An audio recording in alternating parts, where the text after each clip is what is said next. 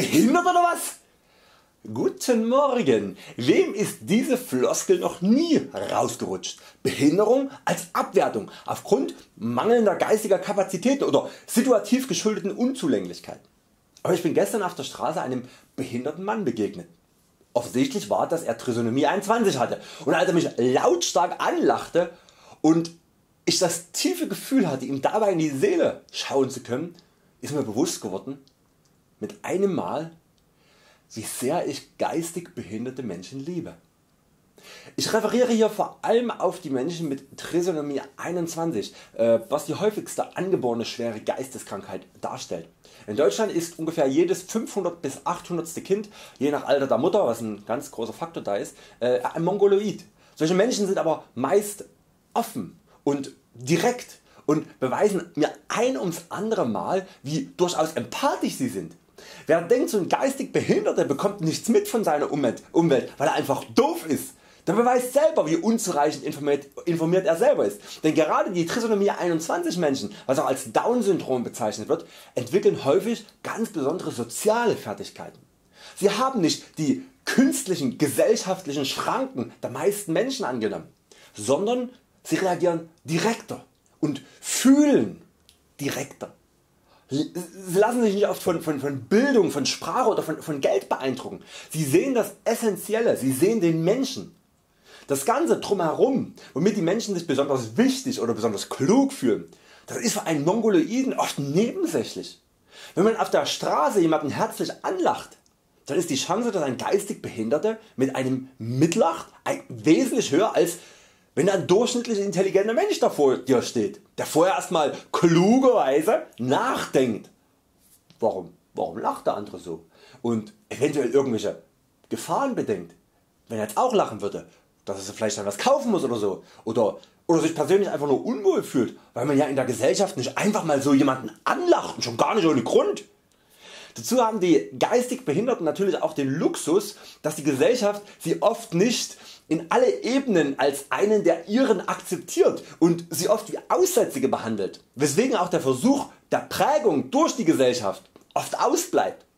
Mongoloide leben emotional viel echter und können uns somit viel direkter zeigen was real ist.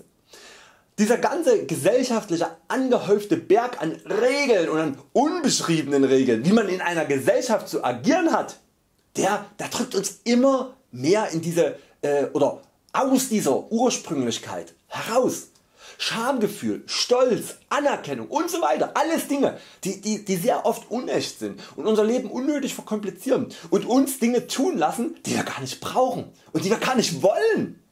Wir haben gelernt was wir wollen sollen, wir haben gelernt was wir brauchen sollen, aber viele haben überhaupt keinen richtigen Zugang mehr dazu was man wirklich braucht.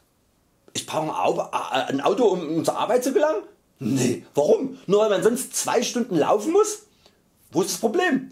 Wir haben gelernt, dass Zeit ist Geld und das ist das Problem. Und dass man nicht einfach 2 Stunden seiner Freizeit wegwirft. Freizeit ist ja auch eine Zeit die die, die äh, Gesellschaft ja auch ganz klar von der Arbeitszeit abgegrenzt hat. Ne? Das ist ja unsere Freizeit, weil sie die Zeit ist wo man tun kann was man will. Was ja die Arbeitszeit oft nicht ist. Es ist in Ordnung die Arbeitszeit als etwas Belastendes zu sehen. Man muss hart arbeiten um etwas zu erreichen. Und da muss man eben durch. Ihr kennt die Statements alle. So ein Schwachsinn. Keiner muss irgendwo durch, wenn er es nicht will. Aber dieser, zumindest in unserer heutigen Gesellschaft, sagen wir es mal dazu, aber dieser Gedanke, dass man sich selbst versorgt, das ist überhaupt kein Gedanke, der in den Köpfen der Menschen irgendwo äh, ja, hineingepflanzt wird. Äh, weil, weil diese Selbstversorger die eben nicht müssen, sondern die machen das was sie wollen, damit äh, das System nicht mehr unterstützen und das System irgendwann mangels Unterstützung auseinanderfällt. Nein, es ist wichtig dass jeder denkt dass Arbeit hart und unangenehm sein darf, weil dann eben Arbeiten ausgeführt werden die einen teilweise oft ja, ja, die dieses sinnfreie materialistische System das überhaupt überdauern lassen. Wenn wir klar denken würden und wirklich uns auf die Dinge beschränken würden, die wir wirklich brauchen, dann können wir im großen Teil des Tages das tun, was wir wirklich wollen. Diesen ganzen sinnlosen Ballast, das hat ein geistig Behinderter nicht. Er kratzte öffentlich am Sack, weil es dort eben juckt. Warum denn bitte auch nicht? Jeden juckt mal der Sack. Sie pupsen, wenn sie pupsen müssen und quälen sich nicht minutenlang oder stundenlang wie viele, geistig, wie viele geistig gesunde Menschen äh, auf Arbeit mit dem drückenden Magen herum, weil sie aufgrund ihres Stolzes nicht öffentlich pupsen wollen. Sag mal, wer ist denn da eigentlich geistig krank? Ich liebe Behinderte, weil sie uns oft zeigen was wirklich notwendig ist und ja, was alles nur eine übergestülpte Fassade ist. Das wollte ich heute einfach mal an Euch loswerden. Was meint ihr dazu? Bitte wie immer ehrliche Meinung.